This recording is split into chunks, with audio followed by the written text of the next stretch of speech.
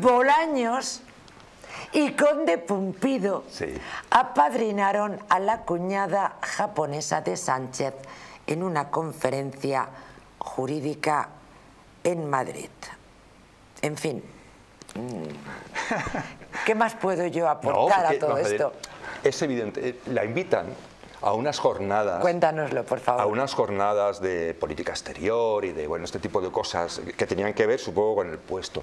Claro, la invitan porque como va a concursar en el futuro, porque ellos tienen una bola de cristal, vas a tener un concurso para un puesto de no sé qué en la ONU para Mauritania, lo estamos viendo ya. Y entonces, para darle el currículum de méritos, de, ¿qué hacen? Pues oye, la invitan a una jornada, dice, ya tienes currículum.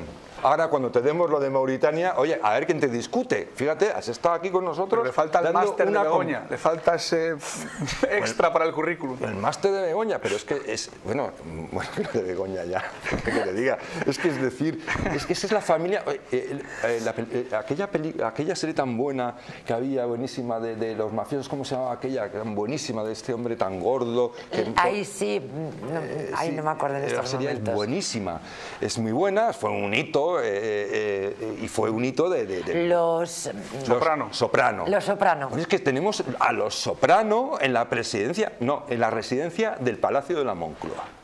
Residen en el Palacio de la Moncloa. Es que realmente donde nunca... reciben al rector de la Complutense para apañar los negocios de la señora del presidente. Claro, porque todos sabemos que yo llamo al rector de la Complutense, oye, eh, Paco, tengo aquí un máster Y que va, te va a claro, interesar.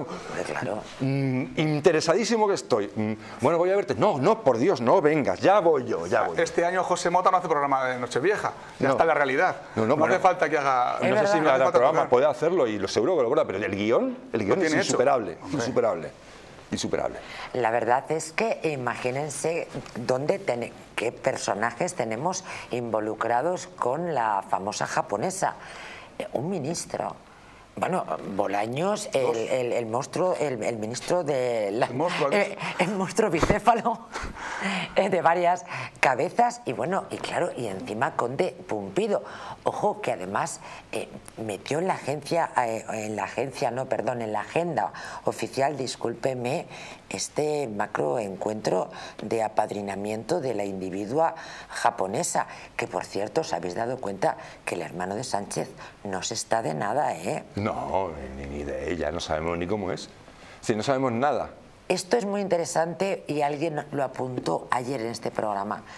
Eh, nadie conoce la cara del hermano de Pedro Sánchez ni de esta japonesa que naturalmente aquí serán un holograma, una realidad virtual. No, no, está- no existirán. No, no, sí, yo, yo es que mira, me acuerdo, antes de que se supiera todo esto, de un estupendo, como casi publi reportaje que hicieron en Vanitatis, Vanitatis esta, eh, su suplemento no sé de quién es del mundo, o de alguno de estos, sobre la familia Sánchez.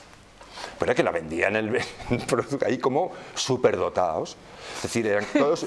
El hermano es director de orquesta, compositor y un genio de la ¿Qué música. decían de la mujer? De la mujer, una mujer, una mujer que se había hecho a sí misma, una mujer de negocios, una emprendedora y no sé qué. Con EGB acabado. ¿Eh? Con EGB acabado. Sí, sí, con- pero bueno, es decir, eh, y faltaba, yo no sé quién faltaba por ahí, de- ah, bueno, el padre, el padre era un tal, el otro era otro empresario, es decir, la familia Sánchez era poco más o menos que la familia de Leonardo da Comparado Vinci, con ¿no? las hijas de Zapatero, es verdad que sí que contrasta un poquito.